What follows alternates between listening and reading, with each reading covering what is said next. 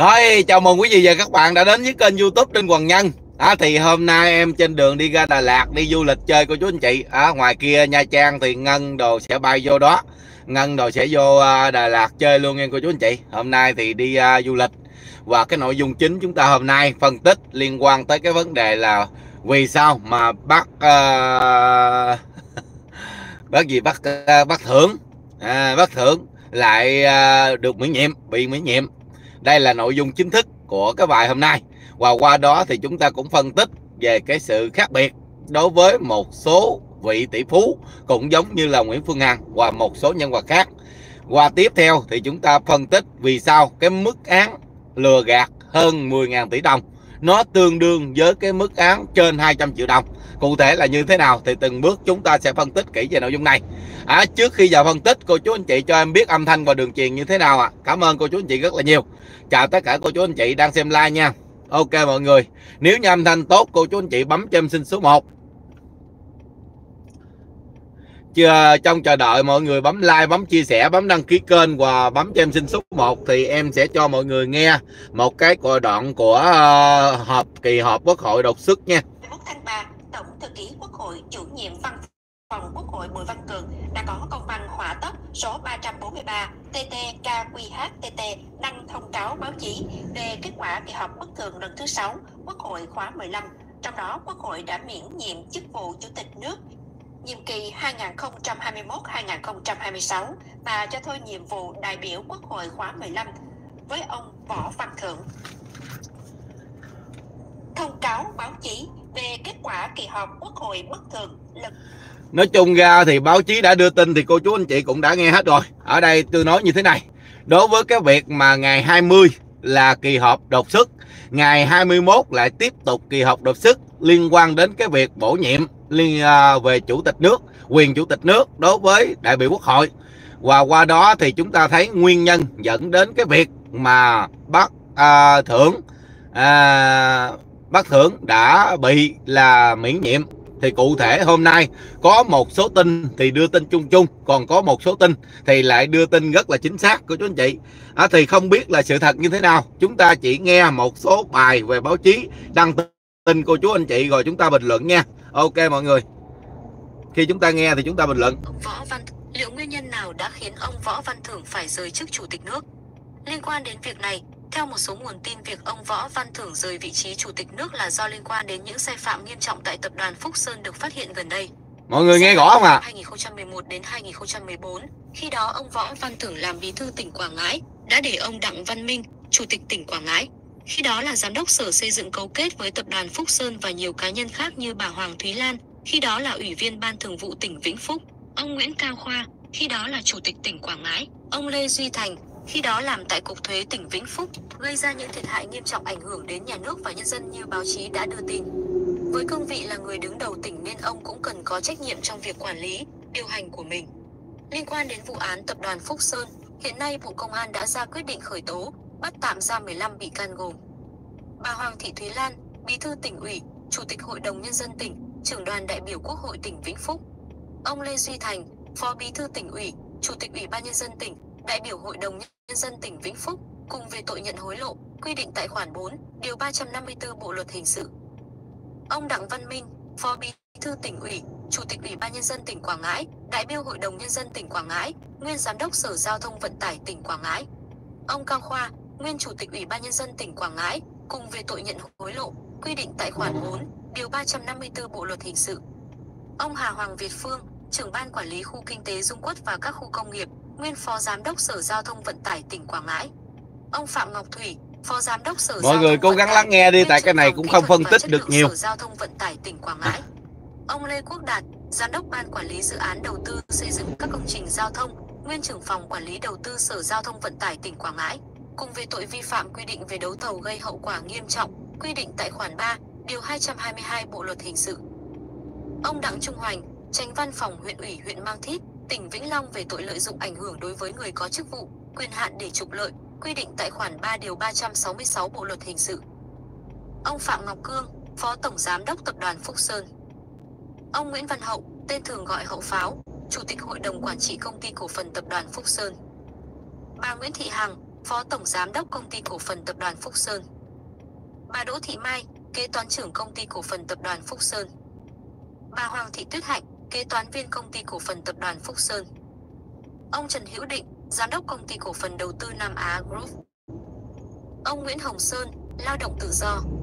Vậy tập đoàn Phúc Sơn đã gây ra những hậu quả gì khiến một bí thư tỉnh ủy, một nguyên chủ tịch tỉnh, hai chủ tịch tỉnh, một tránh văn phòng huyện, cùng hàng loạt giám đốc, phó giám đốc các sở, ban ngành phải vướng vòng lao lý và có thể ảnh hưởng đến ông Võ Văn Thưởng. Công ty cổ phần tập đoàn Phúc Sơn, gọi tắt là tập đoàn Phúc Sơn, tiền thân là công ty trách nhiệm hữu hạn thương mại và xây dựng Phúc Sơn, được thành lập vào năm 2004 tại xã Tam Phúc, huyện Vĩnh Tường, tỉnh Vĩnh Phúc. Doanh nghiệp này hoạt động chính trong lĩnh vực bất động sản, xây dựng. Chủ tịch hội đồng quản trị kiêm người đại diện theo pháp luật của tập đoàn Phúc Sơn là ông Nguyễn Văn Hậu, sinh năm 1981. Ông Hậu xuất thân trong một gia đình nông dân ở huyện Vĩnh Tường. Từ một doanh nghiệp có quy mô và năng lực phố huyện cỡ nhỏ, thành lập năm 2004, doanh thu năm 2014 đạt 100 triệu. Sau năm 2015, công ty cổ phần tập đoàn Phúc Sơn lớn nhanh như thổi để sớm kịp đánh những trận đấu lớn trên thương trường kinh doanh cả nước, đặc biệt tại các tỉnh Vĩnh Phúc, Phú Thọ, Quảng Ngãi, Khánh Hòa. Có thể kể đến các dự án như dự án xây dựng khu trung tâm thương mại và nhà ở Phúc Sơn tại huyện Vĩnh Tường, Vĩnh Phúc với quy mô 130 ha, khu nhà ở 15 tầng cho người có thu nhập thấp tại thành phố Vĩnh Yên, Vĩnh Phúc, khu đô thị hai bên đường Phú Đồng tại thành phố Việt Trì, Phú Thọ với quy mô 149 ha. Đường bờ Nam sông Trà Khúc, Quảng Ngãi có vốn đầu tư gần 1.000 tỷ đồng, dự án đầu tư và nâng cấp đê tả sông Hồng với tổng số vốn hơn 1.500 tỷ đồng. Tập đoàn Phúc Sơn cũng là nhà thầu chính trong việc tu bổ nâng cấp khu di tích lịch sử. nói chung các cái à, cái này thì cô chú anh chị cũng biết rồi ha mọi người nghe lại khúc đầu Việc ông Võ Văn liệu nguyên nhân nào đã khiến ông Võ Văn Thưởng phải rời chức chủ tịch nước? Liên quan đến việc này, theo một số nguồn tin việc ông Võ Văn Thưởng rời vị trí chủ tịch nước là do liên quan đến những sai phạm nghiêm trọng tại tập đoàn Phúc Sơn được phát hiện gần đây. Giai đoạn từ năm 2011 đến 2014, khi đó đó thì có một số bài á, thì nó nêu nguyên nhân còn một số bài thì nó không nêu nguyên nhân. Một số tạp chí báo chí thì nó cũng đã đăng như vậy á, thì chúng ta cũng sẽ biết như vậy. Nhưng mà quan trọng ở đây là chúng ta rút ra kinh nghiệm gì của chú chị. Đặc biệt là cái lò của bất Trọng không có vùng cấm mà một người đã đứng đầu của đất nước gần đứng đầu của đất nước là chủ tịch nước của chúng ta. Nếu như sai phạm vẫn bị xử lý theo quy định của pháp luật thì rõ ràng ở trong cái việc phòng chống tham nhũng kể cả trong những cái việc sai phạm đều không có vùng cấm mà Bác Trọng cũng đã đưa ra. Mọi người thấy ví dụ như các đời bí thư à, tổng bí thư thì chúng ta cũng biết rồi có rất là nhiều mà lại không được giống như là Bác Trọng này. À, mọi người thấy rõ liên quan tới cái vấn đề này thì rất là nhiều người quan nghênh về Bác Trọng đúng không?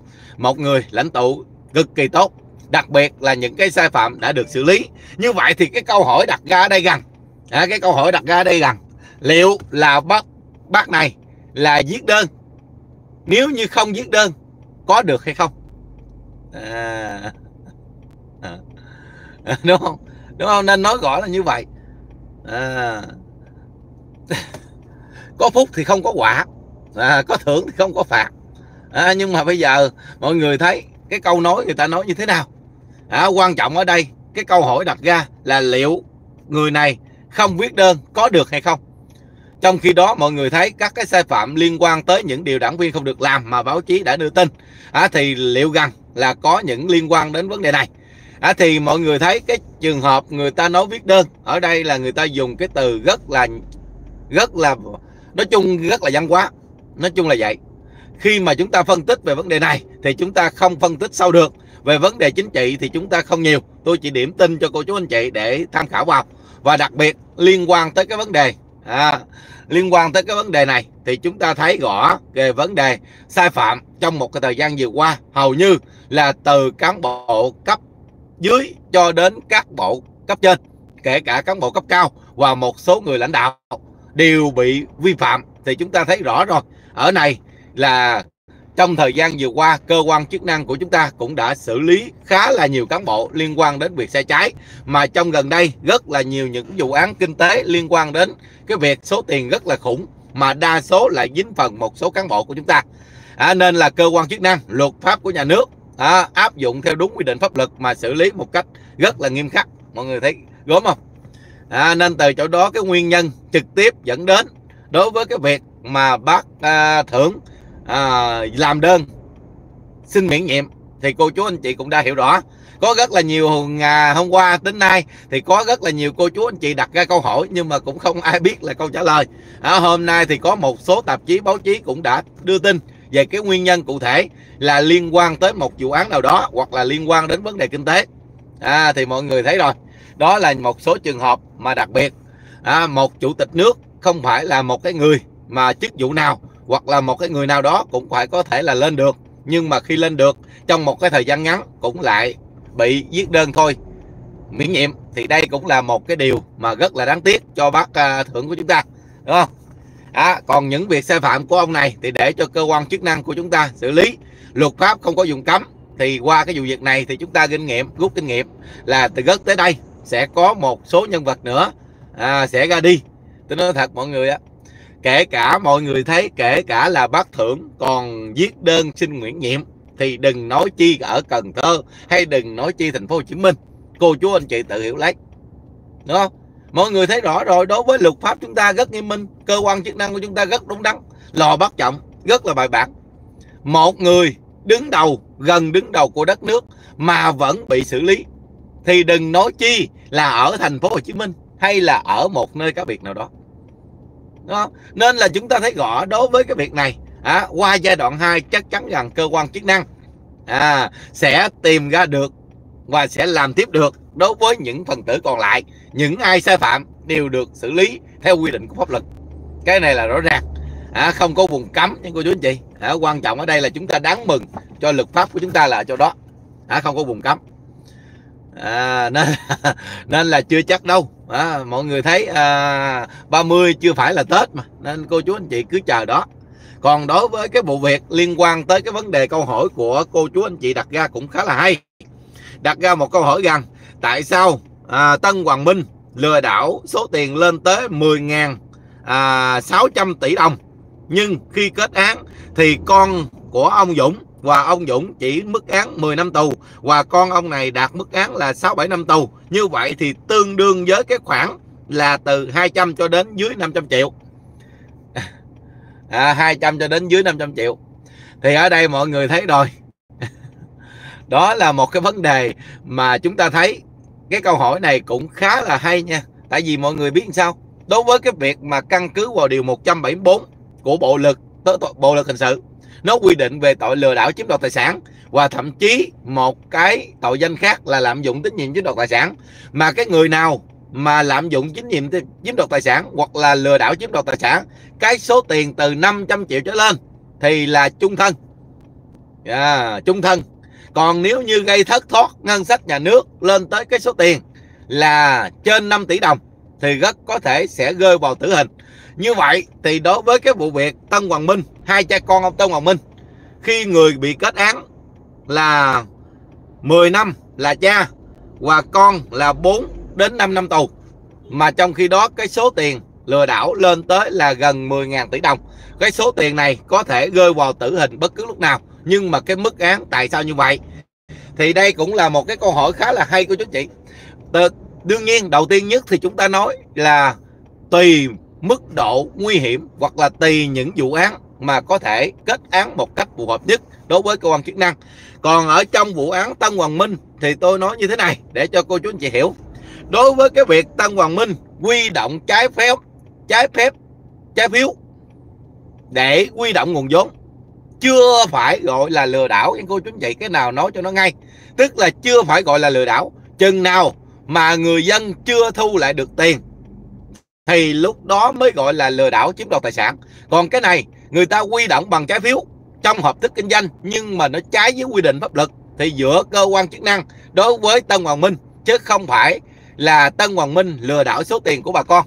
Vì trái phiếu tới thời điểm này cũng đã thu lại hết toàn bộ và không có thiệt hại.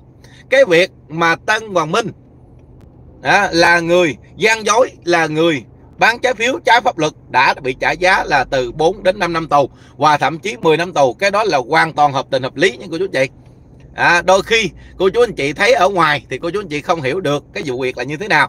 Nhưng cái việc mà bán trái phiếu sau này người dân vẫn hưởng lại số tiền thì chưa gọi là lừa đảo chiếm đoạt tài sản vì người ta đã khắc phục toàn bộ hậu quả. Đến nay thì người dân những người mà quy động trái phiếu đã nhận lại hết toàn bộ tất cả các cái vụ tiền liên quan. Không còn một cái thiệt hại nào. Còn đối với Tân Hoàng Minh gian dối trong cơ quan chức năng thì rõ ràng ở đây bị phạt là 10 năm tù cho đến là à, xin lỗi là 5 6 năm tù cho đến 10 năm tù là hoàn toàn hợp tình hợp lý nha cô chú anh chị. Cô chú anh chị đừng có thắc mắc là đưa ra những cái câu chuyện ví dụ như mình lên trên mạng cộng đồng mà mình nói à, uh, quan quan thì nó cũng không hay. À, và liên quan đến vấn đề mà chúng ta rất có thể sẽ bị xử phạt. À, nên cô chú anh chị cẩn thận. Cô chú anh chị hiểu rõ cái bản chất của Tân Hoàng Minh tức là quy động trái phiếu quy động nguồn vốn trái với quy định của pháp luật chứ không phải là lừa đảo. Đặc biệt ở đây là tới thời điểm này không có một trường hợp thiệt hại nào của người dân. Người ta đã khắc phục và trả tiền trái phiếu lại toàn bộ theo quy định của pháp luật. Chỉ còn lại một tội danh là kinh doanh trái phiếu trái phép. Như vậy thì cái mức án 10 năm là hoàn toàn hợp tình hợp lý đúng không? À, mức án 10 năm là hoàn toàn hợp tình hợp lý đó, đối với vấn đề ở đây tiếp tục cái câu hỏi liên quan tới vấn đề của chị Hằng và một số tỷ phú khác. Ở đây tôi nói thật mọi người từng câu nói của chị Hằng nó đều thấm sâu vào trong tim thấm sâu vào à, cuộc sống của chúng ta. Nói thẳng là như vậy. Mọi người thấy đối với chị Hằng nói câu đối với chị Hằng nói câu là làm người tốt kinh doanh tốt khó lắm. À, làm người tốt đâu có dễ mọi người thấy ghê không? Đối với những tỷ phú mà đi ra ngoài được nhiều người kính nể được nhiều người thương thì đa số là những cái người cũng giống như cơ quan chức năng của chúng ta xử lý. Còn khi mà mọi người thấy chị hằng làm mọi việc đều theo quy định của pháp luật mọi việc đều tốt thì lại được nhiều người chỉ trích. Mọi người thấy gớm không? Ở à, đây là một cái sự bất bình trong xã hội là ở chỗ đó đó cô chú anh chị. Bất bình trong xã hội tại sao? Tại vì đối với chị hằng kinh doanh cũng là kinh doanh hợp pháp nhưng họ lại nói rằng là trốn thuế nè. Họ nói rằng là gian lận trong kinh doanh nè. Trong khi cái người gian lận thật sự thì tới bây giờ họ không lên phân tích họ không lên nói bất cứ một cái vấn đề gì. Mọi người thấy rõ không? Đối với cái vấn đề chị hằng nói một câu làm người tốt rất khó. Đúng không? Làm người tốt rất khó. À, nên mọi người thấy rõ rồi những lời chị hằng nói, đa số là nó có hết. Đó. mọi người thấy những người chỉ trích chị hằng, nói rằng là gian lận trong vấn đề là thế má hoặc là trốn thuế để nhằm mục đích kinh doanh. Tôi đặt trường hợp bây giờ thám tử cao hay một số kênh cũng giống như Phan Phong và một số kênh YouTube lúc trước phản biện cho Nguyễn Phương Hằng.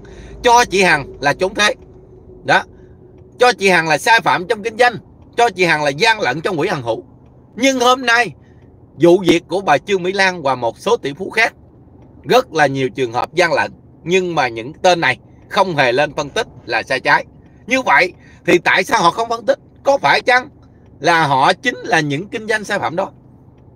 Đúng không? Chính vì họ kinh doanh sai phạm, nên là họ không dám phản biện những người sai phạm. Còn những người tốt bóc phốt họ thì họ sẽ ngăn cản lại. Đây là câu hỏi đặt ra, đúng không? Đối với những người mà phản biện chi hằng. À những người mà phản biện chi hằng thì đa số là những người làm việc là trái đối với đạo thường. Nên khi mà người làm đúng, nói ra những điểm yếu của họ thì họ tấn công. Còn những người làm sai ở trên mạng xã hội, kể cả ở ngoài đời, gian lận trong vấn đề tiền bạc, họ cũng không lên phản biện. Đối với vụ việc bà trương mỹ lan và một số nhân vật đình đám khác, đa số là cái số tiền gian lận rất lớn nhưng mà họ không một lời lên phân tích. Còn khi chị hằng một người kinh doanh đàng hoàng không hề trốn thuế thì họ lại môi ra cái vấn đề trốn thuế vấn đề kinh doanh. À, nên mọi người thấy cái bất bình không? Bất bình ở đây là vậy. Rất là nhiều người lại cho rằng những cái vấn đề đó.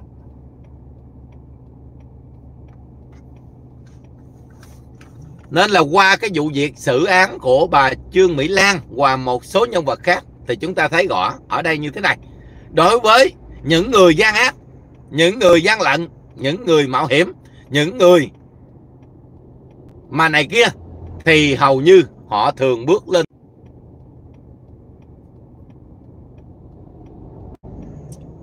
Alo alo.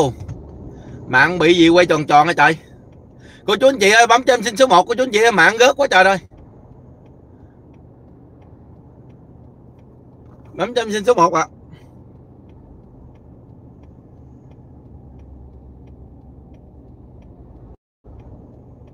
mọi người bấm like giúp em nha. Bấm like giúp em, mạng nó quay tròn tròn đi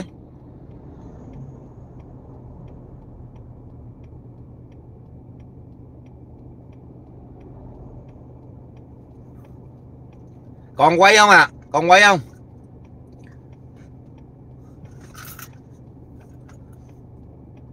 Vẫn còn ok. Được rồi. Rồi, ok, cô chú anh chị.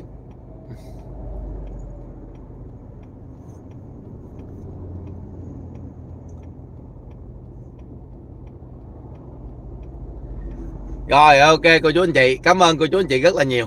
Đó, mọi người thấy cái sự bất bình, cái sự khác biệt không? Một cái người chơi quân tử thì lại bị chỉ trích. Tại sao? Ví dụ như chị hằng lên trên mạng cộng đồng làm một cái sứ mệnh bóc phốt những điểm yếu, những điểm tồn tại của xã hội để cho cộng đồng mạng, để cho cơ quan chức năng vào cuộc, hoặc là để cho làm trong sạch cái xã hội. Thì họ lên lúc nào cũng là chỉ trích, lớp nào của họ cũng là nói những cái câu nói rất là khiếm nhã. Qua đó thì mọi người thấy đối với cái việc mà chị hằng sai phạm, thì chị hằng không một hề quán than, thậm chí là chị hằng không kháng cáo, và thậm chí có chơi có chịu. Nhưng đối với những người thật sự cũng giống như bà Trương Mỹ Lan hay một số nhân vật là tỷ phú khác. Thì cô chú anh chị thấy khi mà phát hiện ra tội danh cơ quan chức năng kết luận thì quanh co chối tội làm đủ thứ chuyện trên đời. Thậm chí là tới thời điểm này vẫn cho mình là vô tội. À, vẫn cho là mình là vô tội. Thật ra nói thật trong cái drama của chị Hằng theo như tôi được biết thì chị khởi tố Hằng Ni và luật sư Trần Quang Sĩ thì chưa đủ à, cái này là nhận xét cá nhân của tôi. Nhận xét cá nhân của tôi. Mà đôi khi nhận xét cá nhân thì cô chú anh chị biết rồi. Cá nhân thì có lúc đúng có lúc sai chứ không phải là cá nhân là đúng hết. Theo tôi nhận xét cá nhân của tôi nếu như trong cái drama của chị Hằng khởi tố đối với Hằng Ni và luật sư chồng quân Sĩ là chưa đủ. À, là chưa đủ. Còn một số nhân vật là chùm cuối còn một số nhân vật là liên quan nữa à, nên là theo như cá nhân của tôi thôi. Còn như sự việc thì cơ quan chức năng người ta điều tra. Thì ở đây tôi không nói. À. Đúng không? Đây là cá nhân của tôi. Thì đương nhiên cá nhân thì có đúng có sai chứ không phải là cá nhân là đúng hết nhưng mà vẫn là chưa đủ. Chùm cuối rồi những cái chùm liên quan. Đó. Ở đây mọi người thấy đối với ngoài đất nước của chúng ta thì bây giờ đang xử dài dài ngoài kia. À đang sửa dài dài ngoài kia. Đặc biệt ở đây mọi người thấy nguyên là chủ tịch nước còn phải bị kiểm điểm còn phải bị xin thôi việc. Thì đừng có nói chi tới những người khác. Trong khi đó những người khác thì lại sai phạm khá là nhiều mà cơ quan chức năng của chúng ta đang trong đà xử lý. À, like 12 giờ để theo dõi nhân ơi. 12 giờ hả? Đâu để em nghiên cứu lại cái à, à, để em nghiên cứu lại cái múi giờ. Rồi lúc đó em sẽ cho cô chú chị hay ha. Em sẽ liên hệ lại cái múi giờ coi cái giờ nào chính xác. Ở đây lấy biểu quyết đi. Bây giờ cô chú anh chị cho em biết là like giờ nào là hợp tình hợp lý nhất. À, em thì giờ rảnh có rồi. Bây giờ cô chú anh chị cho em trong này ý kiến lấy số lượng nhiều. À, giờ nào hợp lý nhất cô chú anh chị cứ cho em ý kiến. Nha. Cô chú anh chị bấm vô đi. Nếu như 12 thì bấm 12 còn 12 30 thì bấm 12 30 à, em coi coi cái lượng nào nhiều thì em sẽ theo người đó. à.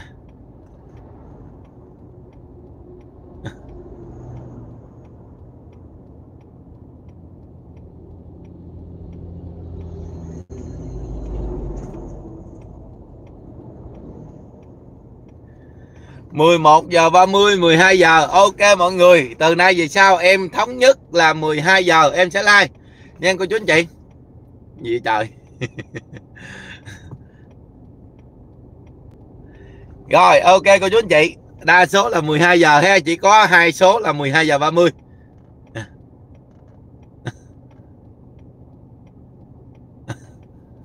Rồi rồi rồi, rồi. thống nhất với cô chú anh chị là từ nay về sau em sẽ like 12 giờ nha. Ok mọi người. Từ nay về sau em sẽ like 12 giờ. Rồi chốt. Cảm ơn cô chú anh chị thì em sẽ đổi lại khung giờ là 12 giờ em sẽ like. À, cô chú anh chị đón xem nha 12 giờ. Hôm nay thì đông rồi hôm nay em nói 12 giờ. Thảo Nguyễn Thị có nên mình 12 giờ 30 chết em luôn. Thôi thì em chỉ lấy theo số đông thôi cô chú anh chị chứ biết sao giờ. Lấy theo số đông thôi. Lấy theo số đông thôi. Tôi nói thật mọi người á nói này là nói một câu công tâm nhất một câu công bằng nhất thật ra đối với rất là nhiều vụ án đình đám nó thì à, trong cái vụ việc của chị Hằng không biết chúng ta có phải ủng hộ chị Hằng rồi chúng ta thấy như vậy hay không. Nhưng đối với chị Hằng khi kết án mà áp dụng các tình tiết giảm nhẹ như vậy thì tôi nói thật người so với những vụ án khác thì chúng ta thấy là chưa đủ. Nói thật là như vậy. Mặc dù cái phiên phúc thẩm chưa diễn ra nhưng mà chúng ta cũng nói một câu công tâm tức là không binh vực bên nào nếu như đem so đối với tất cả các vụ án đình đám so tất cả các vụ án liên quan đến cơ quan chức năng của chúng ta xử thì chúng ta phải nói một câu là trong vụ án của chị Hằng hầu như là những tình tiết giảm nhẹ nó chưa áp dụng đủ và chưa áp dụng công tâm so với tất cả các vụ án khác. À, mọi người thấy khổng tử nói một câu không? À, người tiểu nhân mà đi tới đâu thì họ kè kè họ nịnh bợ tới đó. Người quân tử đi tới đâu thì tiểu nhân nó đeo đến đó. Tại sao người ta nói như vậy của chú anh chị? À tại sao người ta nói vậy? Đúng không? Mọi người thấy rõ rồi. Đối với cái việc mà người quân tử xin lỗi là người tiểu nhân đi tới đâu thì họ kè kè tới đó là sao? Nịnh bợ. À, nịnh bợ. Nếu như người mà tiểu nhân mà họ điểu thì họ chi tiền rất là cao của chúng chị vì đồng tiền, không phải là đồng tiền của họ. Cũng giống như, tôi nói thật, mọi người cũng giống như bà trương mỹ lan. Cô chú anh chị thấy, làm tốt cho bà trương mỹ lan, đặc biệt là tiền lương thì 500 triệu một tháng. Tiền thưởng tết là 5 tỷ. Nên mọi người thấy, có thể là nhiều người bán mạng về cái số tiền này. Chứ không phải đơn giản, đúng không? Mọi người thấy làm tốt cho bà, để tạo điều kiện cho bà nhưng mà ngược lại có lợi cho hai bên là sao? Cái đồng tiền này không phải là đồng tiền của bà. Bà cho thì rất là rộng rãi. Còn đối với sư Nguyễn Phương Hằng đồng tiền do công ty làm ra đồng tiền mồ hôi nước mắt làm ra chị Hằng không thể nào thưởng tiền được như vậy. Nên ít có ai sẽ bu vào. Tiểu nhân nó sẽ không bu vào. Mà tiểu nhân nó đi kè kè theo để làm gì? Nhằm mục đích là hạ bệ. À, người quân tử đi tới đó thì tiểu nhân nó sẽ hạ bệ tới đó để cho cái ác nó lên ngôi. Đúng không? Nên mọi người thấy đối với cái vụ việc rất là nhiều ví dụ như là người tiểu nhân đi tới đâu thì dân nịnh bợ nó đi tới đó. Người quân tử đi tới đâu thì tiểu nhân nó sẽ đi đến đó. Nên cô chú anh chị thấy lúc nào nó cũng có một vế song song. À, lúc nào nó cũng vế song song. Bà trương mỹ lan chi tiền mọi người thấy đâu có tiếc. Vì sao? Vì đồng tiền là đồng tiền của người khác đồng tiền của bàn quan chăm họ. Chứ không phải là đồng tiền do bà làm ra nên bà chi một cách không tội vạ tức là vô tội vạ. Còn nguyễn phương hằng thì mọi người thấy rồi. Đó. làm thì làm bằng công ty lấy tiền lãi thì đi cứu trợ cho những người mà khuyết tật thậm chí xây đường cầu đường. Còn đối với cái việc bà trương mỹ lan đi làm từ thiện bây giờ tiền đâu phải của bà đâu mà bà tiếc. À, vậy mà không không có một người mà người ta thấy không có một người nào mà vô phản biện bà này. Ở đây mới là một cái vấn đề mà chúng ta thấy rõ. Xin số điện thoại không cho ôm hận trả thù. Ai trời dạ số điện thoại của em là 0908 785 779 nha. 0908 785 779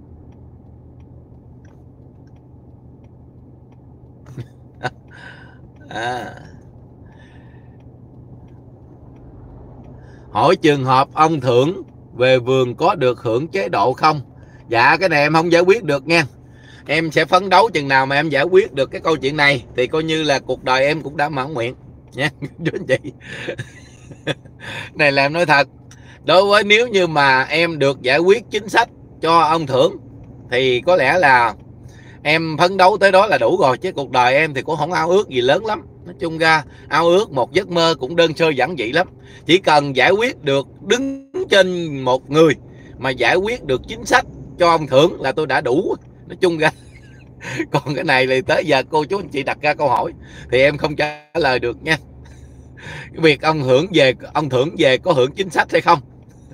Thì thì thôi, em không biết. à, thì thôi em không biết. Còn nếu như mà em phấn đấu chừng nào à, công cuộc sống của em phấn đấu chừng nào mà em giải quyết chính sách giải quyết được chính sách cho ông thưởng thì coi như là đạt yêu cầu. Rồi bây giờ chúng ta nói về theo lực còn cái việc giải quyết thì chúng ta không biết. Bây giờ chúng ta nói về theo lực à, nói về theo lực nếu như mà cái việc mà sau khi ông thưởng này bị cắt chức. Sau đó cơ quan chức năng vào điều tra. Nếu như phát hiện khởi tố thì ông này không có một cái chính sách nào. Đó là theo luật. Nha. Người bị khởi tố là người bắt buộc phải xin nghỉ. Hoặc là nếu như không chỗ nghỉ thì người ta bắt buộc phải nghỉ. Đó là theo quy định của pháp luật. Còn sự việc như thế nào thì chúng ta phải tôn trọng cơ quan chức năng. Nha. Tôn trọng cơ quan chức năng. À, còn đối với cái việc vi phạm pháp luật ví dụ như là bà mới bà Lan. Bà Lan là bí thư tỉnh ủy tỉnh Vĩnh Phúc. Mọi người thấy khi tước bỏ tất cả các chức vụ trong kỳ họp đột xuất này thì ngoài cái việc đó bà Lan vẫn bị khởi tố về tội là nhận hối lộ. Nên từ chỗ đó bà này không được hưởng một số danh sách nào nhưng mà chỉ được hưởng tình tiết giảm nhẹ trong một vụ án khác.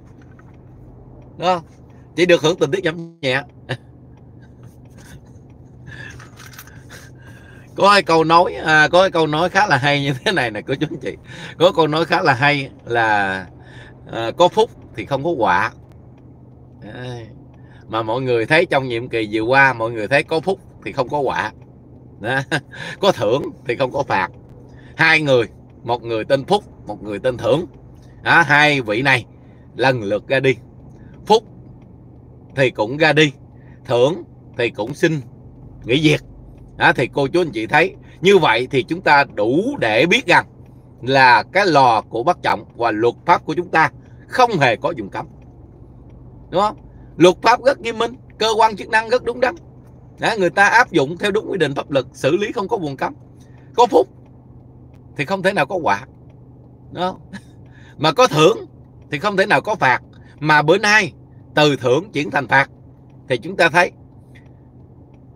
đất nước của chúng ta không có vùng cấm.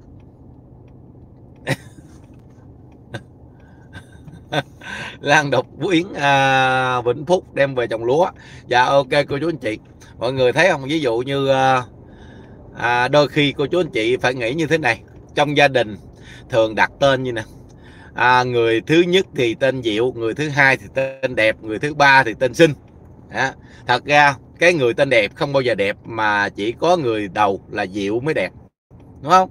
Cái người đặt tên trùng như vậy chưa hẳn là như vậy à, mọi người thấy ví dụ như à, ba sinh ra ba người con một người con đặt tên là Diệu một người con tên đẹp một người con tên Sinh thì cuối cùng người đẹp đâu phải là đẹp mà con Diệu nó mới đẹp hoặc là con Sinh nó mới đẹp chứ còn người tên đẹp không bao giờ đẹp. Không nên là đôi khi chúng ta thấy sự việc đó sự việc nó rất là nhiều. Ví dụ như trong hai nhiệm kỳ vừa qua một người thì tên phúc một người thì à, tên thưởng đúng không?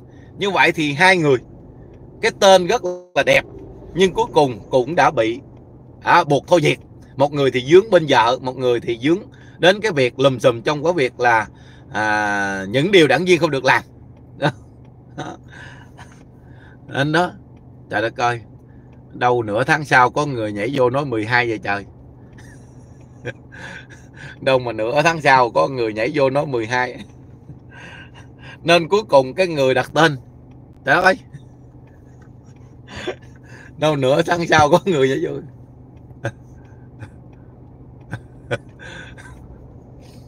cái người đặt tên xấu thì chưa hẳn xấu. Tại sao? Cái người kế bên mới xấu. Đúng không? Ví dụ như là tôi nói diệu xấu đi. Một con diệu một con xấu. À, thì con xấu nó đâu phải là xấu chỉ có con diệu này xấu thôi chứ xấu đâu xấu. Đúng không?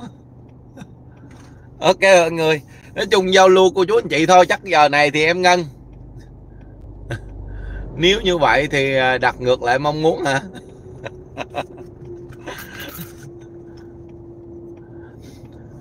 Để, để, đặt ngược mong muốn. Mọi người thấy ông bà ngày xưa không? À, mọi người thấy cái tên của em tên trong giấy tên đinh văn no là cái tên trong giấy của em là cũng chính vì sợ đồ này kia đó mới ra nông nổi đó đó. Dạ anh chào thương nguyên nha. Đó ngày xưa ông bà kêu tên chuột tên tí rồi tên cơm tên gạo gì không à? Ngày xưa á mà ông bà người ta kêu tụ đủ thứ tên hết chứ. À, đủ thứ tên hết á. Ờ, thằng này tên chuột. Ờ, thằng tên cu nữa trời ơi trời. Nói thật cô chú anh chị ngày xưa mà học trong lớp vô trường mà cô gái mới ra trường về cô giáo mới ra trường về đứng lên thưa cô thằng cu nó đang ngóng. Nó ngóng ra ngoài á mà nói rằng là thưa cô thằng cô nó đang thằng cu nó đang ngóng. Mọi người thấy lúc trước lúc trước rất là nhiều những cái tên tiếu tiếu không? Là mọi người thấy.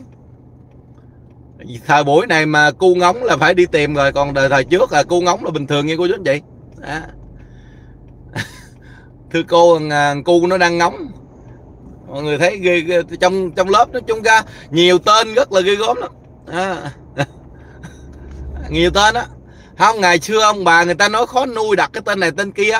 Thì người ta nói khó nuôi cô chú chị mới kêu tên này tên kia.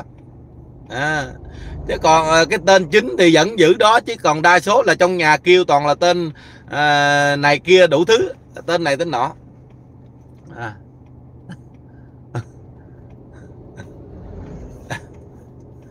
ok mọi người.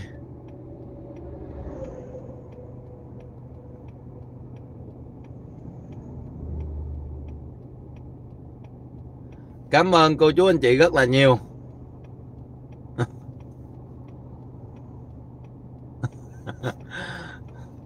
Cu son ờ cu son. Không thật, cái tên đinh văn no của em là ngày xưa cũng là nói ông bà cho no bụng, ăn uống đo đủ rồi đó. Chứ không phải đơn giản đâu, chứ còn cái tên đinh hoàng nhân cái tên đinh hoàng nhân là cái tên thật. Còn như mà tên đinh văn no mọi người thấy ví dụ như ngày xưa ông bà muốn cho nó đủ hoặc kêu bằng út no hoặc kêu bằng no đồ này kia cuối cùng cái mang danh chết danh luôn á. À, rồi kêu bằng tèo rồi tí rồi đủ thứ hết trơn nên nó là nói thật chứ đâu phải nói chơi đâu. Đây cô chú anh chị cũng lớn tuổi hết trơn cô chú anh chị biết mà. Kêu bằng hai lúa đồ này kia. Ừ. sai phạm ở bến xe chữ chưa? Dạ chưa nha cô chú anh chị. À mọi người à, nhớ một câu như thế này. Nếu như à, nếu như theo lời của à, một cái tạp chí mà người ta viết hồi nãy á, này là theo lời của tạp chí thôi nghe cô chú anh chị. À, theo lời của tạp chí á, à, cô chú anh chị thấy lúc trước á, là bác thưởng lý do là liên quan tới những cái vụ trước đó. Như vậy thì cô chú anh chị cứ nghĩ coi nếu như mà Bến Tre mà cơ quan chức năng của chúng ta xử lý, nếu như sau này có liên quan mở rộng, thì cô chú anh chị ở thành phố Hồ Chí Minh có yên hay không? Tôi nói ví dụ vậy. Đúng không? Này là ví dụ thôi, mọi người thấy ví dụ như là bác thưởng của chúng ta bây giờ đã lên nắm là chủ tịch nước. Mà bây giờ một số sai phạm và những điều đảng viên không được làm, luật pháp của chúng ta rất nghiêm minh và đúng đắn, xử lý bác thưởng này à, là bây giờ đang là trong nhà nước. Bây giờ mọi người thấy ví dụ như là bến tre đi. Bến tre nếu như mà xử thời gian trước đó trong thời gian sai phạm ai ai ai ai là người nắm chỉ huy. À, nếu như người cơ quan chức năng người ta moi ra thì cho dù anh đang nắm chức vụ nào hoặc là cho dù anh đang nắm ở đâu nếu như có vi phạm pháp luật thì cơ quan chức năng của chúng ta cũng sẽ xử lý rất là chính xác. Đúng không? Có em đinh quăng à. có em đinh à, văn nơi. Không đinh văn non dạ không phải nha. À, đinh văn nơi thì cách nhà em khoảng hai cây số. Đinh văn nơi cách nhà em có hai cây số. Và là rể của ông ship em là cái người em đang mua đất. Cái này là em nói thật. Ông ship em ngày xưa là ổng là lúc trước là trưởng phòng quân quấn. Sau đó là ổng lên à, phó tham mưu trưởng. Sau đó ông về thành đội trưởng đó. và ông đinh văn nơi chính là rể của ông này. Đó, cũng quê cần thơ. Nhà thì cách nhà em hai cây số.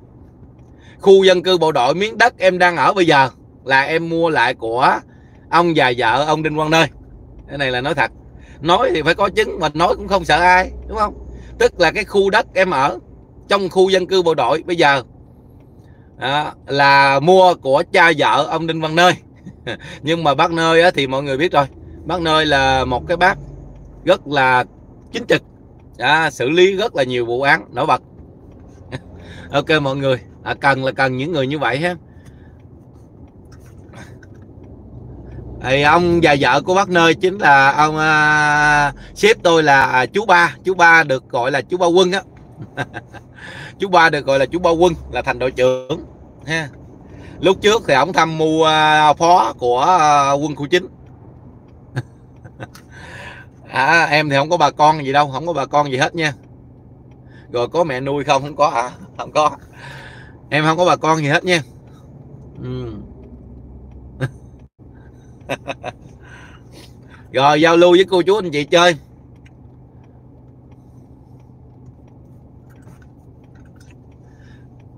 Cô chú anh chị cứ đặt ra câu hỏi đi. Rồi mẹ nuôi không? Có thể miền Nam sau này hả? À, có thể võ Hoàng Yên bắt tổng nhìn thấy. Từ từ cô chú anh chị ơi. À, từ từ cô chú anh chị thấy hết rồi từ từ. Đúng rồi. Đúng rồi bác nơi là làm việc rất là chính xác cô chú anh chị. Vậy nhân là cháu của ông nào? Ờ, em thì em thì lúc trước theo như ờ, phong tục ngày xưa thì em là cháu của ông lớn tức là cháu của ông nội em chứ không phải vừa đâu. Em kêu ông đó thì tất cả ví dụ như anh ruột của em nè đều kêu bà ông nội ha ông ruột của em nè con của bác em nè rồi con của chú em là đều kêu bà ông nội. Nên là cô chú anh chị biết là em là gốc lớn nha gốc lớn nha. À, nói chung ra là tất cả những người ví dụ như anh em nè thậm chí anh hai của em nè, rồi thậm chí các con của bác nè, thậm chí các con của chú nè, đều kêu ông đó bà ông nội, chứ không phải ông vừa đâu. Anh nên cô chú, anh chị thấy là em gốc lớn dữ lắm, chứ không phải đơn giản. Ok, mọi người. Ừ ấn thiệt. Mọi người thấy, lúc trước lúc trước em còn à, đi lính mà. Lúc trước em còn đi lính ở trong bộ đội á. Đấy, cổng ở chân chỗ đường cách mạng tháng 8 ai ở Cần Thơ sẽ biết nha. Ở chân chỗ cổng tượng đài chiến thắng đó. tượng đài chiến thắng là cách mạng tháng 8 phường An Thới đó. Lúc đó em gác cổng ở đó có một người à, vô hỏi chú ơi chú vô à, cho con tôi vô thăm con tôi. À, con hỏi con cô tên gì? Nói con tôi tên Nguyễn Văn Cha. Nói thôi ở đây toàn là ông nội không mà chứ không ai cha chứ. Nên cô về đi không ai có chứ. Trời ơi, tên gì tên gì kỳ cục. Tên, tên vô vô trong mà gia đình vô thăm nuôi mà vô thăm hỏi vô thăm con tôi tên Nguyễn Văn Cha. Cái, cái thằng gắt cổng bên kia nó nói ở đây toàn là ông nội không mà cô ơi cô về đi. Không có thăm thiết gì đây chứ. Thôi cô về đi khỏi thăm. Đây toàn là ông nội không à. Nên thôi.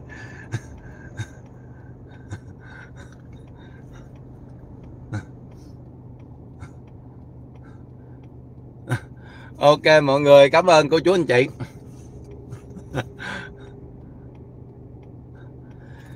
Rồi, nói chung ra từ từ sẽ tới quy định pháp luật thôi cô chú anh chị. Hôm nay đi Đà Lạt chơi nha. Ai Đà Lạt thì alo cho em nha, cô chú anh chị.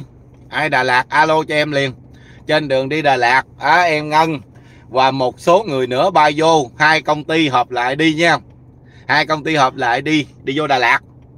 Ai ở Đà Lạt thì cứ alo.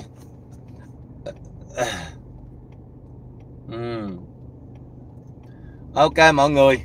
À, thì à, bên em ngân là đi ba xe. Bên em thì cho nhân viên đi hai xe. Đó. Nên là tổng hai công ty lại đi chung. Nhân với đinh lan là anh em ruột chứ gì nữa. Ok mọi người cô chú anh chị nhớ mua hàng ủng hộ em nha cô chú anh chị. Cô chú anh chị nào mà bị bao tử và thận yếu thận si tiểu đêm nhiều đó cô chú anh chị nhớ mua giúp em nha. Đây là nhập khẩu hàng của em bán là nhập khẩu 100% từ Hàn Quốc hết nha cô chú anh chị. Đinh uh, họ Đinh với Đinh Lan. Đinh Lan cũng móc họ với họ Đinh. Ok mọi người cảm ơn cô chú anh chị người ta nói anh em mực số điện thoại bà Hằng không cho chứ không phải người ta xin. Dạ ok mọi người. À, cô chú anh chị nào mà bị tiểu đêm nhiều thậm chí là thận yếu thận si trào ngược dạ dày. À, thì cô chú anh chị nhớ dùng đông trùng hạ thảo lên men nha cô chú anh chị. Đặc biệt là em uống bây giờ rất là tốt rồi. Đó. E, mọi người cứ chúc mừng em đi cứ hết bao tử gì là mừng lắm ơi ừ. mọi người cứ chúc mừng em đi nghe cô chú anh chị một bịch nó trong nó là như vậy nè. Đó cô chú anh chị. Nó như vậy. Giờ mới uống. Đó. cô chú anh chị à, mua đông trùng hạ thảo lên men của em á thì bỏ trong cái ngăn mát. Ở trong ngăn mát xong cứ một ngày sáng sớm chúng ta xuống mở tủ lạnh thay vì chúng ta uống nước trước khi ăn chúng ta quất gối. À, cô chú anh chị nào mà không sợ tốn tiền thì uống nhiều hơn cũng không sao nha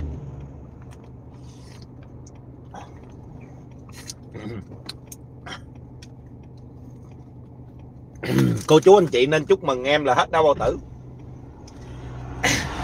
Em khám con HB lại là hết rồi đó cô chú anh chị. À, mừng cho em ha.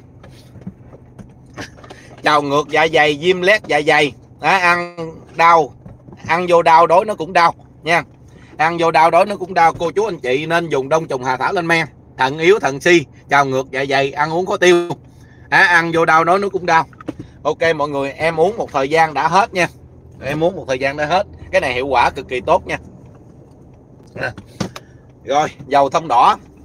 Dầu thông đỏ này là gan nhiễm mỡ máu nhiễm mỡ. À, bị gút tiểu đường huyết áp nha. Gút tiểu đường huyết áp. Cô chú anh chị nên dùng nha. Gan nhiễm mỡ máu nhiễm mỡ bị gút tiểu đường huyết áp. Mà đặc biệt là cô chú anh chị nào muốn giảm cân nó sẽ đốt mỡ bụng đốt chất béo của chúng ta giúp cho chúng ta giảm cân một cách là theo khoa học và đặc biệt không phải dùng thuốc giảm cân mà chỉ uống cái này là nó đã giảm số lượng cân rất là bài bản rồi. À, mà cô chú anh chị nào ốm quá thì không nên uống nha cô chú anh chị. Ví dụ như cô chú anh chị nào mà ốm quá thì không nên uống nha. Dầu thông đỏ tinh dầu thông đỏ là nó đốt mỡ bụng nó đốt chất béo làm cho chúng ta là nó giảm cân. À, rất hiệu quả. Còn nếu như những người nào ốm quá thì thôi chúng ta không uống đông à, không uống à, tinh dầu thông đỏ nha. Còn những người nào mà tăng cân những người nào mà mập thì chúng ta uống dầu thông đỏ cực kỳ tốt. Mỗi một hộp như vậy nó giảm là từ 2 cho đến 3 kg nghe cô chú anh chị. Mỗi một hộp như vậy. Và đặc biệt nó trị bệnh cho chúng ta. À, à, đặc biệt nó trị bệnh cho chúng ta là trị bệnh à, gan nhiễm mỡ máu nhiễm mỡ à, bị gút và tiểu đường huyết áp. Số điện thoại của em là 0908 785 779 0908 785 779 nha cô chú anh chị à, 0908 785 779 ok mọi người. Còn đây là sâm ăn hoàng cung. Sâm ăn hoàng cung này một hộp là chúng ta uống được 2 tháng 60 viên. Hộp bằng gỗ hương đặc biệt là gỗ đặc. Đó không phải là gỗ ép nha cô chú anh chị. Gỗ hương này cực kỳ tốt. Ngày xưa là trong hoàng cung người ta sử dụng nên bây giờ người ta kêu bằng sâm hoàng cung. À, một hộp nó là 60 viên. À, đặc biệt là gói loạn tiền đình nhức đầu kinh niên tăng cường máu lên não à, ngăn ngừa đột quỵ và tai biến à, gói loạn tiền đình nhức đầu kinh niên à, tăng cường máu lên não ngăn ngừa đột quỵ và tai biến. Cô chú anh chị coi mã vạch và hạn sử dụng cô chú anh chị test bằng điện thoại ha. Ở trên nó có hạn sử dụng đồ hết luôn. À, nên là hàng có hóa đơn chứng từ đâu đó đàng hoàng. Một hộp là 1 triệu 950 ngàn đồng dầu thông đỏ là một hộp 1 triệu 650 ngàn đồng. Tất cả các sản phẩm của em đều được tặng thêm 20 gói. 20 gói đau bao tử tức là đông trùng lên men. Hôm nay cô chú anh chị mua thì được khuyến mãi tức là một hộp bao tử nè một hộp dầu thông đỏ nè hoặc một hộp xăm hoàng cung nè. Đó, và hoặc là xăm bốn lọ nè. Cô chú anh chị đều được tặng 20 gói này. Nha đều được tặng 20 gói. Ok cô chú anh chị số điện thoại của em là 0908 785 779 nha. 0908 785 779 đặc biệt là xăm bốn lọ này, cô chú anh chị, xăm bốn lọ này, cô chú anh chị pha với mật ong. Cô chú anh chị uống sáng là giúp cho những người già nè, những người mà yếu nè, thậm chí là những người bệnh mới hết, chưa phục hồi sức khỏe. Sức khỏe chưa được cân bằng, thậm chí là sức khỏe yếu, tăng cường sức đề kháng nam nữ, đặc biệt là tăng cường sinh lý nam nữ. Đó, mọi người thấy xăm 6 năm tuổi nè, công dụng cũng giống như tổ yến, nó là bốn lọ. Sáng sớm cô chú anh chị pha vô trong này, nó có muỗng cà phê nè pha vô uống hai muỗng với một ly nước nóng. Nếu có mật ong cô chú anh chị đổ vô một miếng mật ong uống cực kỳ tốt nha.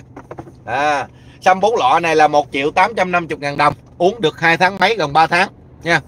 Uống hai tháng mấy gần 3 tháng một hộp 1 triệu 850 vẫn được tặng một hộp bao tử 20 gói nha. Ok mọi người nếu cô chú anh chị nào mà không đủ à, uh, 1 triệu 8 thì cô chú anh chị lấy hai lọ là 970 ngàn.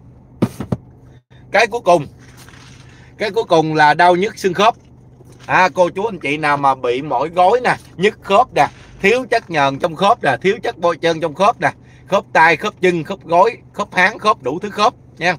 À, đi vận động nhiều nè ví dụ như nay em đi Đà Lạt mà em đi vận động nhiều à, vận động trong phòng kính đâu nhiều à, thì cô chú anh chị cũng nên dùng cái này cho nó tăng cường chất bôi trơn à, trong khớp. Đặc biệt là nó không bị mọng nước nha không bao giờ bị mọng nước trong khớp nhập khẩu 100% từ Hàn Quốc, có mã vạch, mã tem, đâu đó hết, có hóa đơn hết. Cô chú anh chị mua hàng của em, mà nếu như phát hiện giả thì một thường 10 cho cô chú anh chị ha. Một thường 10 nha. Ok mọi người, một hộp như vậy là 3 triệu 200 ngàn đồng chúng ta sử dụng được 4 tháng gửi đến 5 tháng. Còn nếu như cô chú anh chị không đủ tiền là 3 triệu 2 thì cô chú anh chị chỉ mua hai hộp, hai lọ là 1 triệu 7 phan cứng được giảm giá không? Dạ không à em bán uh, trong nước và ngoài nước cũng vậy không có nên giá xuống giá gì hết. Em bán từ trước giờ cô chú anh chị biết rồi. Không bao giờ giảm giá cũng không bao giờ lên giá nha. À, giá ờ, một đồng cũng không giảm mà một cắt cũng không lên. À, thà mua rồi cho thêm chứ không có chuyện bớt. Ok cô chú anh chị đây là hai lọ đau nhất xương khớp nè à, hai lọ này là nó 240 viên. Chúng ta sử dụng được hai tháng mấy? Hai tháng mấy thì à, nó là một triệu bảy trăm ngàn đồng. Em tặng cho cô chú anh chị một bịch kẹo ha. Còn mua hết một liệu trình thì uống tới gần 5 tháng. Một liệu trình này cô chú anh chị uống chỉ trong vòng 10 bữa là có hiệu quả ngay nha. Số điện thoại của em là 0908 785 779 này là đau nhức xương khớp nha cô chú anh chị. Thiếu chất bôi trơn thiếu chất nhờn trong khớp khớp tay khớp chân khớp kiểu gối đâu đó đủ thứ ok mọi người số điện thoại của em là 0908 785 779 nha. Còn à, cuối cùng đông trùng hạ thảo bao nhiêu một hộp? Dạ đông trùng hạ thảo là 1 triệu 450 ngàn đồng trên một hộp. Em bán em hôm nay cô có chương trình em tặng thêm 20 gói nữa. Thay vì một hộp đó là 60 gói hôm nay được tặng thêm 20 gói. Là tổng cộng hết trơn là 80 gói nha một hộp 6 ờ, một hộp có 20 gói này là 650 ngàn nè hôm nay tặng không nè. À, cô chú anh chị mua là được tặng không? Nha hộp này nó là đông trùng hạ thảo lên men nè. Đó. ok mọi người. Số điện thoại của em là 0908 785 779 rồi cô chú anh chị nào mua mật ong gừng mật ong nguyên si không phải là mật ong nuôi nha. Em bảo hành cho cô chú anh chị là một năm ở ngoài. Để ở ngoài cô chú anh chị đừng để tủ lạnh gì hết một năm. À một năm nha à, đặc biệt là không để tủ lạnh nghe gì hết nghe cô chú anh chị. Đây là mật ong gừng nguyên si phát hiện ra mật ong nuôi hoặc phát hiện ra mật ong pha mật ong kém chất lượng. À, thì cô chú anh chị điện cho em một thường 10 cho cô chú anh chị ha. Một lít rưỡi mật ong là một triệu 300 ngàn đồng. Một lít rưỡi nha. Một lít rưỡi là ba chai như gì là một triệu ba trăm ngàn đồng. Ok mọi người. Mật ong rừng nha. Mật ong gùi hôm nay hết sạch. Không còn miếng. mật ong gùi hôm nay không còn miếng cô chú anh chị. Ok mọi người. Rồi các em bán hàng nhiêu đó cô chú anh chị mua được nhiêu đơn mua? À, mua ủng hộ em dùm cảm ơn cô chú anh chị rất là nhiều. À, cảm ơn cô chú anh chị. Thôi bây giờ em à, đi đây có thể là em ngân cũng đang xuất phát rồi. À, thì thì đi ra Đà Lạt gặp nhau mà đông quá đây không biết sao. Không biết có nhà có khách sạn nào chứa không? Đi hôm nay tổng hết gần hai mấy gần ba chục người. Không biết có khách sạn nào chứa nổi không đây? Đi à, tổng hết trơn là bốn năm xe của chú anh chị rất là nhiều nha. Ok mọi người.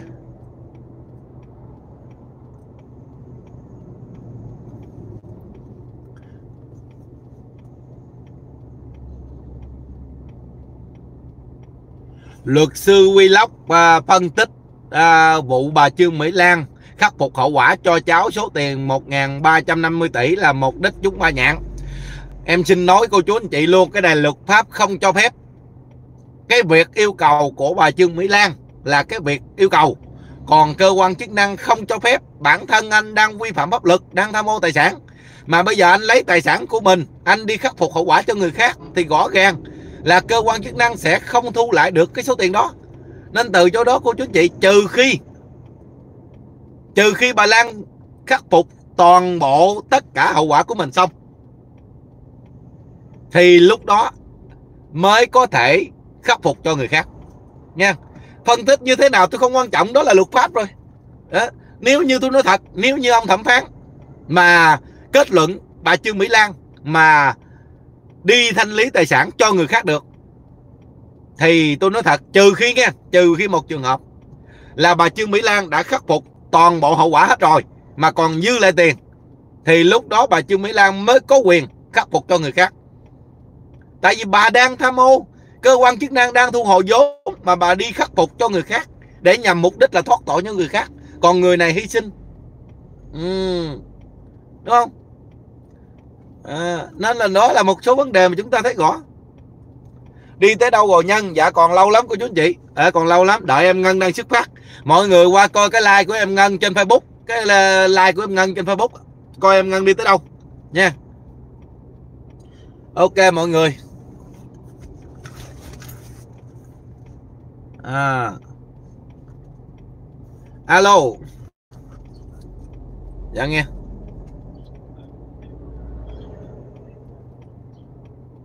Dạ dạ dạ dạ ok.